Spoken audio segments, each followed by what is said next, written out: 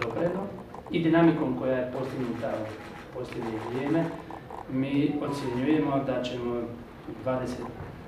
dana prije roka, prije kraja lipnja, iskoristiti cjelokupna sredstva, a do kraja lipnja značajno i, i nadmašiti predviđeni iznos kako kojim slučajem ne bi se kroz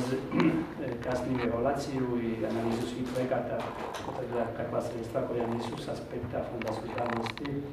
opravdana. Mi smo uvjereni s obzirom na brojne kontrole da su ta sredstva opravdana, ali želimo biti sigurni i stoga ćemo i danas pozvati građevinske tvrtke da do kraja lipnja doista sukladno svojim rokovima